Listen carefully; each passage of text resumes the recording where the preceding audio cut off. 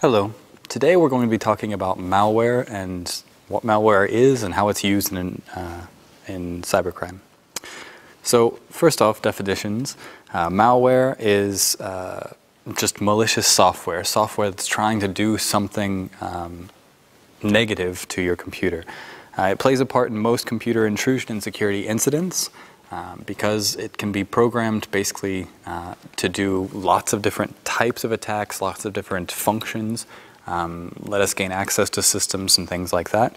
Um, so it's a very, I guess, there's a lot of different types of malware that play very significant roles in the conducting of cybercrime uh, in today's, I guess, environment.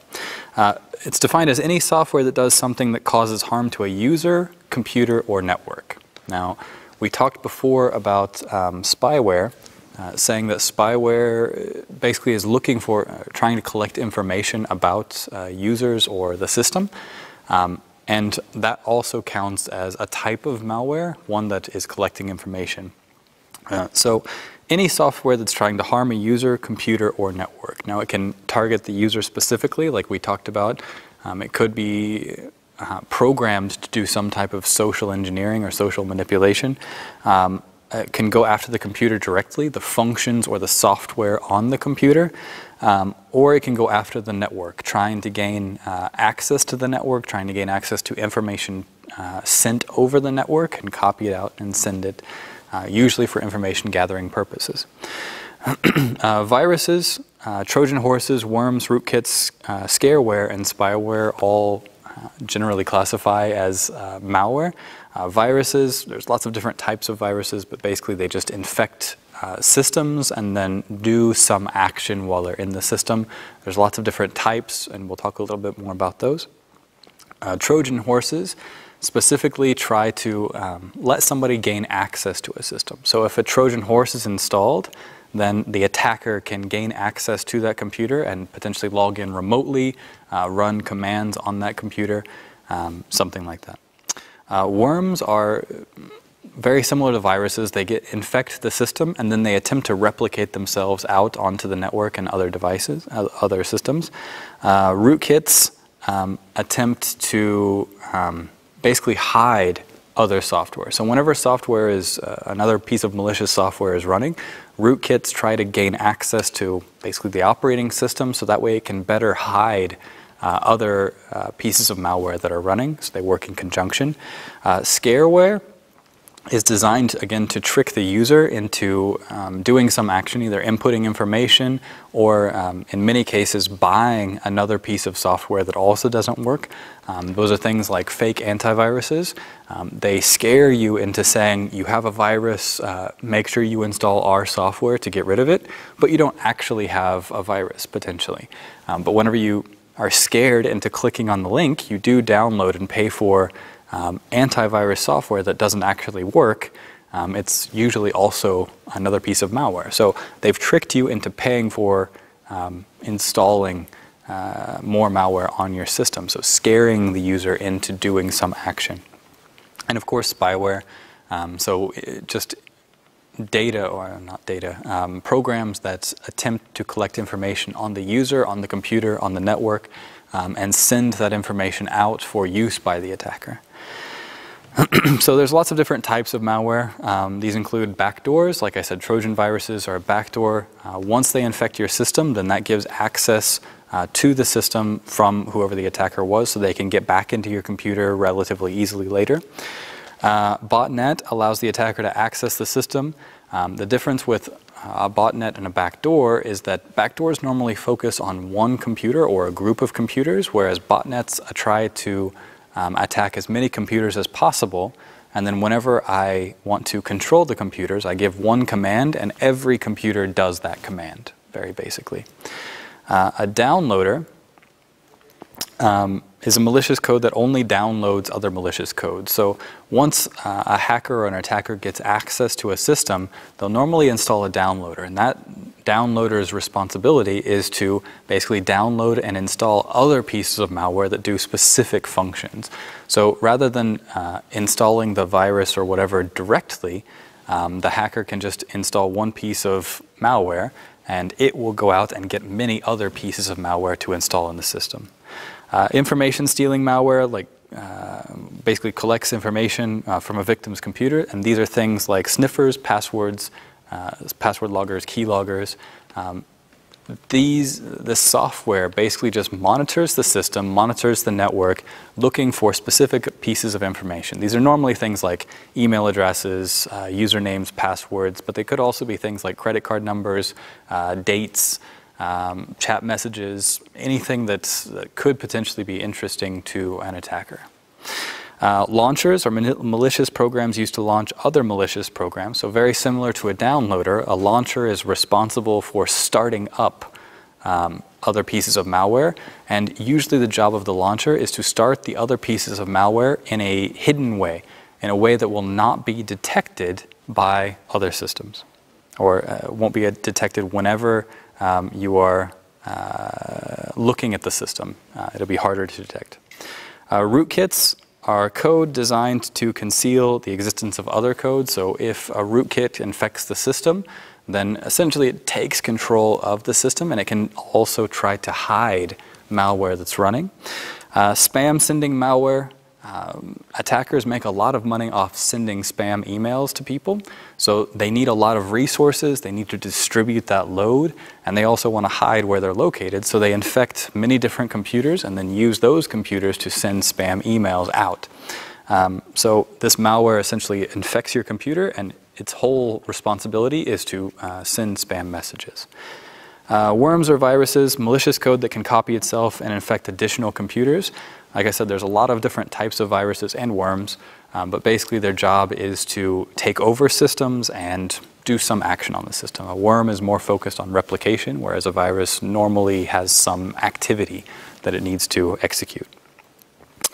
So a little bit about malware analysis. Malware analysis is the art of dissecting malware to understand how it works, how to identify it, and how to defeat and eliminate it. So we analyze malware to be able to understand how is this piece of software working and what can we do to stop it from taking over other systems or doing bad things with our computer.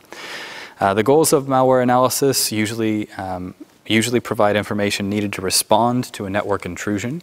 Once our network has been compromised, once we have malware in our network, um, then we are likely have some sort of intrusion situation where an attacker could gain access to our resources. Um, so we need to figure out how to best respond. And we, we can figure out how to respond if we understand how the malware actually works and what it's designed to do. Uh, we also want to determine what happened. We want to know, was information already leaked? What kind of information was it looking for? Um, do we have any of that information? Is that information important to us or not? Um, to determine how bad uh, the situation is. And we want to find all infected machines and files. Obviously, we want to find out what resources on our network have been compromised. That way we can clean them up and make sure that they're not um, reinfecting systems or um, leaking information to uh, the outside. Uh, analysis, of course, supports prevention. So we also do malware analysis to provide, get information uh, that lets us prevent the attack from happening again or prevent further attacks from spreading through the network. Uh, once malware has been analyzed, this, uh, we say signatures can be created. Um, these signatures let us identify where malware, what malware patterns look like. And once we can detect those patterns, we can remove all of the traces that we know uh, the malware creates. Uh, host-based signatures detect malicious code on computers themselves, whereas network signatures detect malicious code by monitoring network traffic. So we basically, we have a couple different layers that we can do uh, malware analysis on, looking for signatures of malware, um, mostly through either on the computer, the files that exist on the computer, or the way that the files are running on the computer, or the data that's sent out over the network, um, what do those data patterns look like? Do they, do they represent anything that looks like it might be malicious? There are two fundamental approaches to malware analysis. First off is static analysis, and this is examining malware without running it. Very, very basically, examining malware without running it. Uh, dynamic analysis examines malware while running it. So static and dynamic analysis, two quite different approaches. One, we do not run the malware. One, uh, for dynamic analysis, we do run the malware. Now, of course, each of those have their own basic and advanced versions. So Basic static analysis examines the executable without viewing the actual instructions. What I mean by that is we don't actually go into the program, we just have an, an executable or a piece of code, and we, we look at it without trying to find out exactly the structure of the program code underneath. Um, we can look at things like the file name, like metadata attached to it, like strings inside the binary file itself.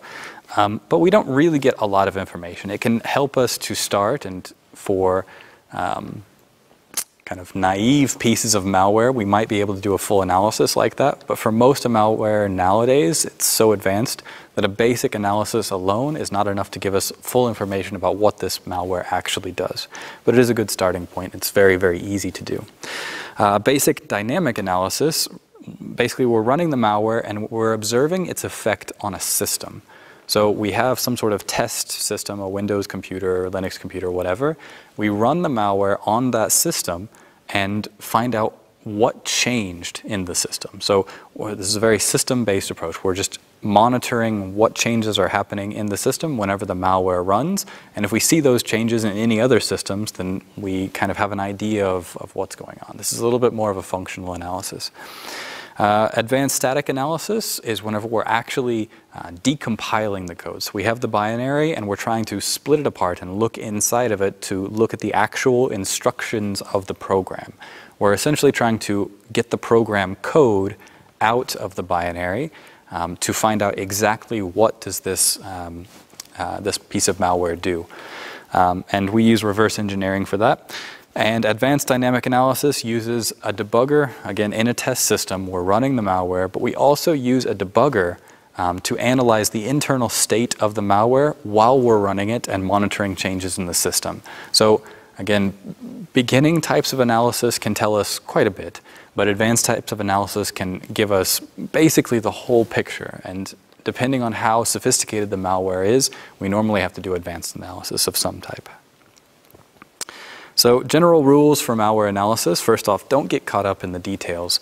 Um, malware is kind of like a puzzle. Uh, there's lots of different parts to it, and some parts you might not be able to find figure out. Um, try to answer the, the, easy questions first, and then like build your way up and come back to difficult problems. Uh, most malware is very large and complex. They have lots of different pieces. Um, so focus on the key features. What is the key feature of this particular piece of malware when we want to go from very general to specific um, malware analysis? Uh, different tools and approaches are available. Uh, there's lots of different ways to do a malware analysis. There's lots of tools available for different types of malware analysis. So don't think that you're stuck with one type of, of investigation basically into these things. Um, if you choose a basic analysis and you don't find anything, well, there's lots of other ways to do the analysis as well. So um, always be very flexible whenever you're doing an analysis and know what options you have basically. And of course, malware changes rapidly. Um, it's very, very easy to produce, especially um, kind of uh, modifications to current types of malware and release those. So malware changes often. Usually the basic structures stay the same and then sometimes there's a new kind of species of malware that comes out. Um, but for the most part, um, malware changes very, very quickly, which means that um, hackers, once we find out how to decompile a certain type of virus or malware, um, hackers will figure out how to stop us from compiling it or from decompiling it. So there's always kind of this um, uh, catch-up phase where investigators have to figure out some new problem. Once we figure it out, then the hackers figure out how to get around what we did and, and back and forth.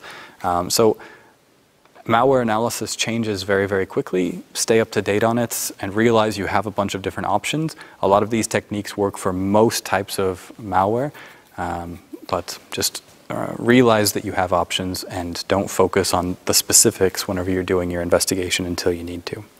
So that's it for malware. We will do a little bit of a malware analysis this week, just a very basic um, executable analysis. Um, and that's what we'll cover in the assignment today. So thank you very much.